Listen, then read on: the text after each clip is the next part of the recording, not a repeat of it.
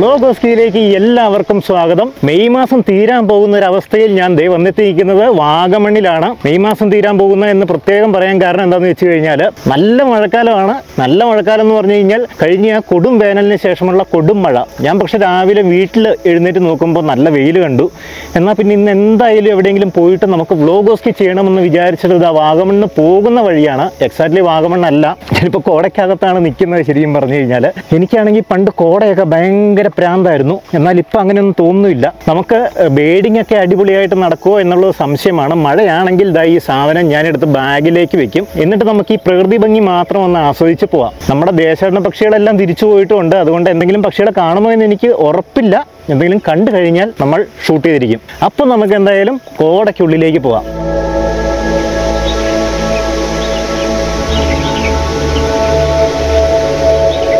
ഞാൻ പറഞ്ഞല്ലോ എനിക്ക് കോട ഭയങ്കര പ്രാന്തായിരുന്നു പണ്ടെന്നുള്ളത്. ശരിക്കും പറഞ്ഞ ഇരുട്ടിനേക്കാളും ഭീകരമാണ് കോട എന്ന് മനസ്സിലാക്കിയ ഒരു കാലമായിരുന്നു.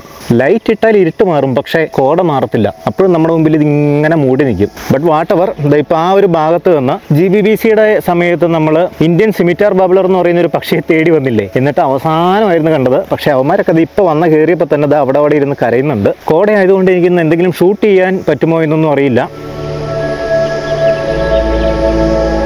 എന്തായാലും നമ്മളിന്ന് മഴ നനയാൻ തീരുമാനിച്ചിറങ്ങിയത് കൊണ്ട് നമുക്കങ്ങ് നടന്നേക്കാം. അധികം നേരം ഇവിടെ ഒന്നും വിസിബിലിറ്റി ഇല്ലാത്ത സ്ഥലത്ത് നിൽക്കണ്ട അല്ലേ?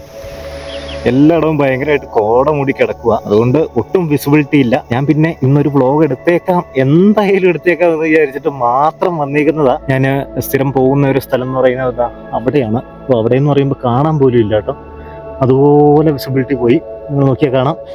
അപ്പോൾ എന്തായാലും എവിടെ പോകും എന്നുള്ളൊരു പ്ലാനില്ല അതുപോലെ ഈ കോടയുടെ മഞ്ഞിൻ കണങ്ങൾ ഇങ്ങനെ നമ്മുടെ മേത്തേക്ക് വീഴുന്നുണ്ട്.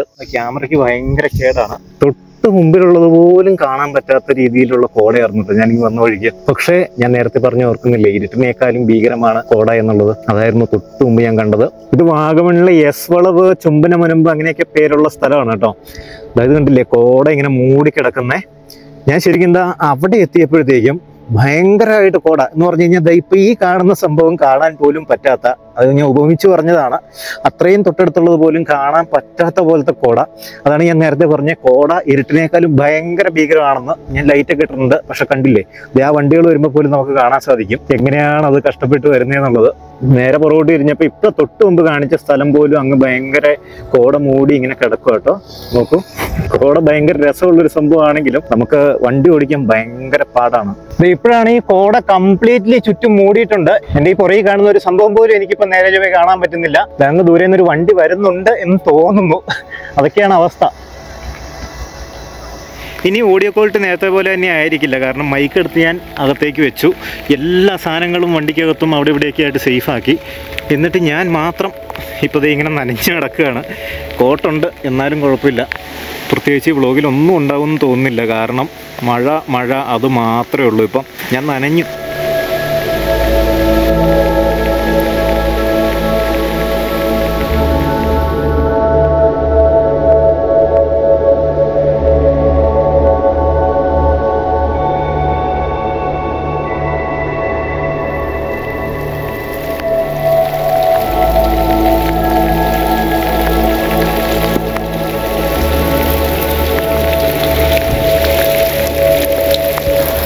മഴ എന്ന് പറഞ്ഞാൽ വെറും മഴ. ഞാൻ താഴെ നിന്ന് കണ്ട വെയിലെല്ലാം വെറുതെ ആയിരുന്നു. എന്നാലും വെറുതെ ഒന്ന് കയറി വരാൻ തോന്നിയത് കൊണ്ട് വന്നതാണ്.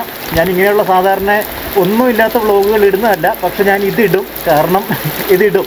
വേറൊന്നും കൊണ്ടല്ല. ഈ ഒരു കാലാവസ്ഥ തന്നെയാണ് ഇനി കുറച്ച് നാളത്തേക്ക് ഉണ്ടാവുക. അല്ലെങ്കിൽ ഈ മഴ തീരുന്നത് വരെയെങ്കിലും എന്റെ ഒരു വ്ളോഗുകൾ ചിലപ്പോൾ ചാനലിൽ കാണത്തില്ല. അതിന് ശേഷം നമ്മൾ അടിപൊളി വ്ളോഗുമായിട്ട് വരുന്നതായിരിക്കും. ഞാനിപ്പോൾ ടാറ്റ പറഞ്ഞിട്ട് പോകും കേട്ടോ. നമുക്ക് മറ്റൊരു വീഡിയോയിൽ കാണാം. ബൈ. പോകരുത്. ഞാൻ ദേ മല ഇറങ്ങി ദാ ഇങ്ങ് താഴെ വന്നേക്കുകയാണ്. ആനക്കയം നമ്മുടെ ഒരു സ്ഥിരം സ്ഥലമാണ്. ഞാൻ വിചാരിച്ചു നിങ്ങളെ ഒന്നും കാണിക്കാതെ ഒരു പൊട്ട വ്ളോഗ് ഞാൻ എങ്ങനെ അപ്ലോഡ് ചെയ്യുമെന്ന്. ഞാൻ വെയിൽ കണ്ടിട്ട് ഇറങ്ങിയെന്നുള്ളത് നേരത്തെ പറഞ്ഞാണല്ലോ. അപ്പോൾ ഇത് ഇവിടെ ഇപ്പോഴും വെയിൽ തന്നെയാണ്. വെയിലെന്ന് പറഞ്ഞു കഴിഞ്ഞാൽ ഉണ്ടല്ലോ ശരിക്കും മഴ പെയ്യുമ്പം നല്ല മഴയാണെങ്കിലും ഇപ്പോൾ ഈ വെയിലുള്ള അവസ്ഥയിൽ ഭയങ്കര ചൂടാണ്. ഭയങ്കര ചൂട് തന്നെയാണ്. നമുക്ക് ജസ്റ്റ് ഇവിടെ ഒന്ന് ബേഡിങ് നടത്തിയിട്ട് എന്തെങ്കിലുമൊക്കെ കാണിച്ച് തന്നിട്ട് പോകാമെന്ന് വിചാരിച്ചു. അതല്ല അതിന്റെ ഒരു രസം?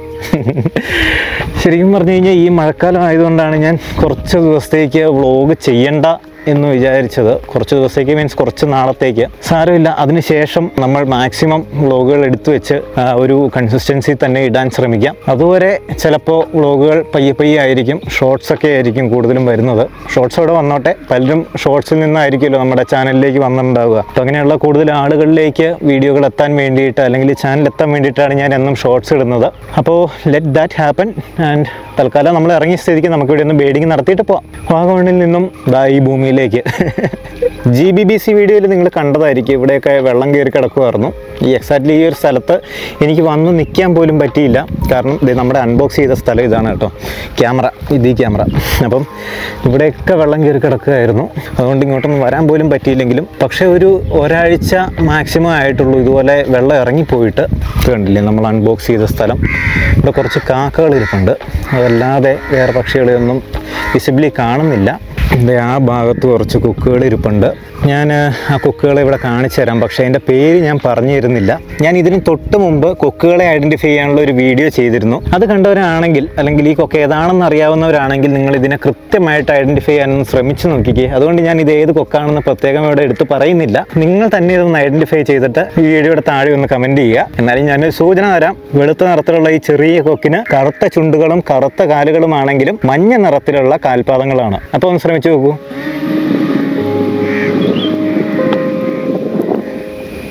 ഇവിടെ ഒരു ലോട്ടൻ സൺബേഡ് എന്ന് പറയുന്ന കൊക്കൻ തേൻകിളി വന്നിരിപ്പുണ്ട് കേട്ടോ. നമ്മുടെ നാട്ടിലൊക്കെ സാധാരണമായിട്ട് കാണുന്ന പക്ഷിയാണ്. പക്ഷെ ഞാൻ എന്റെ വ്ളോഗിൽ അധികം ഒന്നും കാണിച്ചിട്ടില്ല. ഞാനൊക്കെ പക്ഷികളുടെ ഫോട്ടോ എടുത്ത് പഠിച്ചത് ഈ തേൻകിളികളിലാണ്. എന്റെ വീട്ടിലെ ഇതുപോലെയുള്ള ചില ചില ചെടികളിൽ വന്ന് തേൻ കുടിക്കാൻ ഇരിക്കുമ്പോൾ ഞാൻ ഇവരുടെയൊക്കെ ഇഷ്ടംപോലെ ഫോട്ടോസൊക്കെ എടുത്തിട്ടുണ്ടെങ്കിലും പിന്നെ ഇവരെ അങ്ങനെ അങ്ങ് മൈൻഡ് ചെയ്യാതെ നമ്മൾ വലിയ വലിയ പക്ഷികളെ തപ്പി പോകാനും തുടങ്ങിയപ്പോഴത്തേക്കും വളരെ ബ്യൂട്ടിഫുൾ ആയിട്ടുള്ള ഒരു പക്ഷിയാണ്. ഇതിനെ ഞാൻ ആദ്യമായിട്ട് ജീവിതത്തിൽ കണ്ടപ്പോൾ എനിക്കുണ്ടായ സന്തോഷം എന്ന് പറയുന്നുണ്ടല്ലോ. അത് ഭയങ്കരമായിരുന്നു. അതൊരു ബേഡർക്കേ മനസ്സിലാവുള്ളൂ അല്ലെങ്കിൽ പക്ഷികളെ കാണാൻ ഇഷ്ടപ്പെടുന്ന ആളുകൾക്കേ മനസ്സിലാവുള്ളൂ. വാഗമണ്ണെന്ന് നനഞ്ഞ് കുതിർന്നിട്ടാണ് ഇറങ്ങിയെങ്കിലും കുറച്ച് നേരം ഒരു പത്ത് പതിനഞ്ച് മിനിറ്റ് പോലും ആയില്ല ഞാനിവിടെ നിൽക്കാൻ തുടങ്ങിയിട്ട്. ഈ വരുന്ന വഴിയിൽ ഉള്ള കാറ്റടിച്ചിട്ടും അതുപോലെ ഇവിടെ വന്നപ്പോൾ ഉള്ള ഒരു ചൂട് കൊണ്ടും ഇതാ ഡ്രസ്സൊക്കെ ഒരുവിധം ഉണങ്ങിയിട്ടുണ്ട്. പക്ഷെ മലയുടെ മുകളിലേക്ക് ഇപ്പം നല്ല പോലെ കോട കാണാൻ സാധിക്കുന്നുണ്ട്. അത് അവിടെ മഴ തന്നെ ആയിരിക്കും.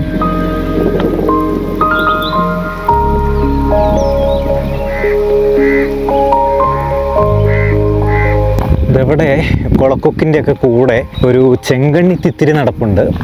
റെഡ് വാട്ടറിൽ ലാഫിങ് എന്ന് ഇംഗ്ലീഷിൽ പറയും. ഞാൻ അവരെ കാണിച്ചു തന്നിട്ട് അവരെക്കുറിച്ചുള്ള ഒരു രസകരമായിട്ടുള്ള ഒരു കഥ പറയാം. ഇതിനപ്പുറത്തേക്ക് നടക്കാൻ പറ്റില്ല. ചെളിയാണ് ചെളി. അതെ അവിടെ ഇരിപ്പുണ്ട്. സംഭവം എന്താന്ന് വെച്ചാൽ ഈ ചെങ്കണ്ണി തിത്തിരികൾ മുട്ടയിടുന്നത് നിലത്താണ്. നമ്മുടെ രാജസ്ഥാനിലുള്ള കർഷകർക്കിടയിൽ ഒരു പറച്ചിലുണ്ട്. ഈ ചെങ്കണ്ണി തിത്തിരികൾ മുട്ടയിടുന്നത് ഇതുപോലെ താഴ്ന്ന വെള്ളത്തോട് ചേർന്നുള്ള താഴ്ന്ന സ്ഥലങ്ങളിലാണെങ്കിൽ ആ വർഷം മഴ കുറവായിരിക്കുമെന്നും അതല്ല ഇനി ഇവർ ഉയർന്ന ഏതെങ്കിലും ഒരു സ്ഥലത്തേക്കാണ് മുട്ടയിടാൻ പോകുന്നതെങ്കിൽ വെള്ളപ്പൊക്കം വരാൻ സാധ്യതയുണ്ടെന്നും ഉള്ളൊരു നാടൻ വിശ്വാസം അവർക്കിടയിലുണ്ട്. അതിൽ എത്രത്തോളം സത്യമുണ്ട് എന്നുള്ളതൊന്നും എനിക്കറിയത്തില്ല. പക്ഷേ ഒന്ന് ആലോചിക്കുമ്പോൾ അത് ശരിയാവുകയും ചെയ്യാം. ഇപ്പം തുമ്പികളുടെ കാലമായിട്ടുണ്ടെന്ന് തോന്നുന്നു കേട്ടോ.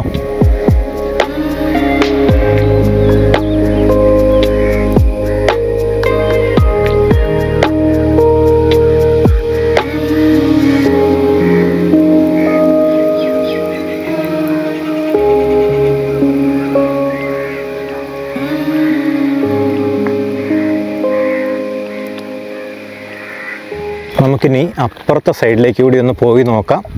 ഇപ്പുറത്തെ സൈഡിലേക്ക് വരുമ്പോൾ ഞാൻ നേരത്തെ പറഞ്ഞിട്ടുണ്ട് ആ കാണുന്ന കോട മൂടി കിടക്കുന്നത് ഇലവിഴ പൂഞ്ചിരയാണ് അതിന്റെ അപ്പുറത്ത് ആയിട്ട് വരും നമ്മുടെ വാഗമൺ എന്നൊക്കെ പറയുന്ന ഒരു ഏരിയ വരുന്നത്. അവിടെ ഒന്നും നേരെ കാണാൻ പറ്റുന്നില്ല. അവിടെയൊക്കെ ഇപ്പോഴും നല്ല കോടയും മഴയൊക്കെ തന്നെ ആയിരിക്കണം.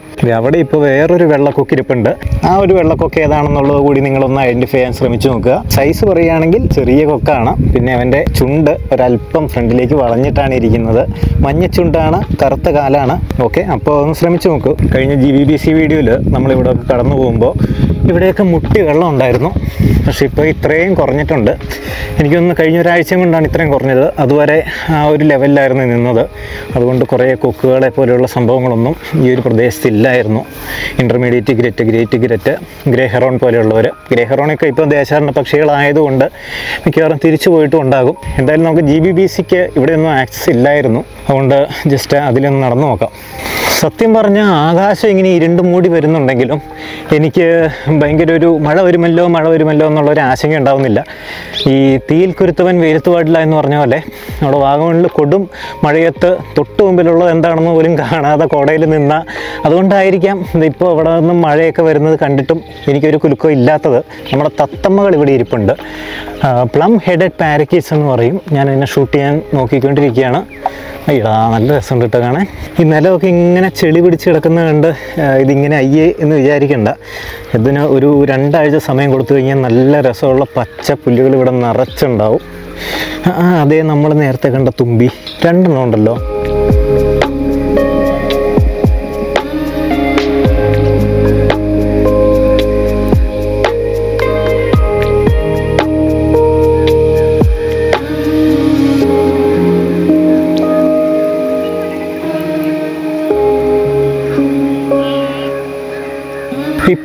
അവിടെ ഒരു വെള്ളക്കൊക്കിരിപ്പുണ്ട് അത് സാമാന്യം വലിപ്പമുള്ള ഒരു കൊക്കാണ്. അതിനെ കൂടി ഒന്ന് ഐഡന്റിഫൈ ചെയ്യാൻ ശ്രമിക്കുക. എന്നിട്ട് സ്ക്രീനിൽ കാണുന്ന നമ്പർ വെച്ച് നിങ്ങൾ അതിനെ ഐഡന്റിഫൈ ചെയ്ത് കമന്റ് ചെയ്യുക കേട്ടോ. നമുക്ക് ഒന്ന് പ്രാക്ടീസ് ചെയ്ത് നോക്കാം. ഇതേ അക്കരെ കണ്ടില്ലേ? ആ പറന്ന് വെള്ളത്തിൽ പോയിരിക്കുന്ന ആ പക്ഷിയാണ് ചേരക്കോഴി എന്ന് പറയുന്നത്. നീർക്കാക്കയുടെ ഒരു ഷോർട്സ് ഞാൻ കഴിഞ്ഞ ദിവസം ഇട്ടപ്പോൾ കുറെ പേർക്ക് സംശയം ഉണ്ടായിരുന്നു. ചേരക്കോഴിയാണോ എന്ന്. ചേരക്കോഴി അതല്ല. നീർക്കാക്കയിൽ നിന്ന് ഇവരെ പെട്ടെന്ന് മനസ്സിലാക്കാൻ ഇവരുടെ ആ ഒരു പേരിന് കാരണമായിട്ടുള്ള ആ കഴുത്ത് തന്നെ ഒന്ന് നോക്കിയാൽ മതി. എന്ത് നീളമാണെന്ന് നോക്കിക്കേ. ചേരപ്പാമ്പ് പോലെ ഇങ്ങനെ വെള്ളത്തിൽ നീണ്ടു നിൽക്കുന്ന തല കണ്ടില്ലേ? അപ്പോൾ ഇവനാണ് അൻഹിങ്ക മൽനോഗ്യാസ്റ്റർ എന്ന് ശാസ്ത്രീയ നാമമുള്ള ഓറിയന്റൽ ഡാറ്റർ എന്ന ഇംഗ്ലീഷിൽ പേരുള്ള ചേരക്കോഴി. ഇതേ മൂന്നിനം കൊക്കുകൾ ഒരേ ഫ്രെയിമിൽ വന്നിരിക്കുന്നു. ഞാൻ നേരത്തെ ഐ ഡി ചോദിച്ചവന്മാർ തന്നെയാണ്. അതുകൊണ്ട് ഞാൻ അവരുടെ ഐ ഡി പറയുന്നില്ല. നിങ്ങൾ തന്നെ പറയുക.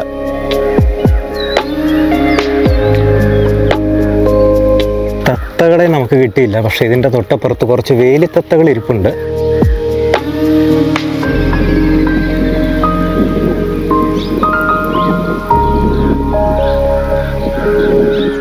പൂഞ്ചിറയുടെ മുകളിലേക്കൊക്കെ കോട ഭയങ്കരമായിട്ട് പടർന്നുകൊണ്ടിരിക്കുക. പക്ഷെ അവിടെ പോകുന്നത് വളരെ ഡേഞ്ചറാണ് വാഗമണ് പോകുന്നതിനേക്കാളും ഡേഞ്ചറാണ് ഇടി വെട്ടുന്ന എപ്പോഴാണെന്ന് അറിയാൻ പറ്റത്തില്ല. ആ സിനിമയിൽ കണ്ടത് സത്യമാണ്. പ്ലം ഹെഡഡ് പാരക്കീറ്റ് എന്ന ഇംഗ്ലീഷിൽ പേരുള്ള പൂന്തത്ത എന്ന് പറയുന്ന പക്ഷിയുടെ പെൺപക്ഷിയാണ് കേട്ടോ അത്. ആൺപക്ഷിയുടെ തല ഒരു ചുവന്ന നിറത്തിൽ അല്ലെങ്കിൽ ഒരു റോസ് റെഡിഷ് കളറിലായിരിക്കും. പെൺപക്ഷിയുടെ തല ഗ്രേ കളറിലാണുള്ളത്.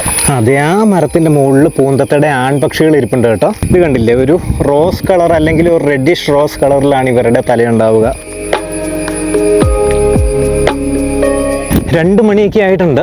എനിക്ക് ഭയങ്കരമായിട്ട് വിശക്കുന്നൊന്നുമില്ല. മഴ നനഞ്ഞ കാരണം ആയിരിക്കാം ഇവിടെ മഴക്കാർ മൂടി വരുന്നുണ്ട്. പക്ഷേ എന്റെ ഡ്രസ്സൊക്കെ ഏകദേശം ഉണങ്ങി കേട്ടോ. ഈ ഇരുണ്ട് മൂടി നിൽക്കുന്ന ഒരവസ്ഥയാണെങ്കിലും ഒരു ചെറിയ ചൂടൊക്കെ ഉണ്ട് വെയിലിന്. അതുകൊണ്ടും പിന്നെ നല്ല കാറ്റ് വരുന്നുണ്ട്. അതുകൊണ്ടൊക്കെ ഉണങ്ങിയിട്ടുണ്ട്.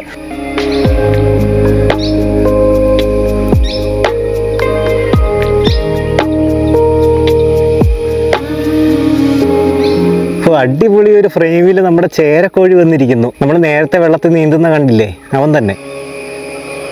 ആ മരത്തിന്റെ മുകളിലാട്ടോ ചേരക്കോഴി ഇരിക്കുന്നത് എനിക്ക് ഫ്രെയിം ഇഷ്ടപ്പെട്ടു. അതുകൊണ്ട് ഞാൻ ഇന്ന് ഈ ഒന്ന് അപ്രോച്ച് ചെയ്ത് നോക്കാൻ പോവാണ്. കുറച്ചുകൂടെ ക്ലോസപ്പിൽ ഫോട്ടോ കിട്ടുമെന്ന് അറിയണം.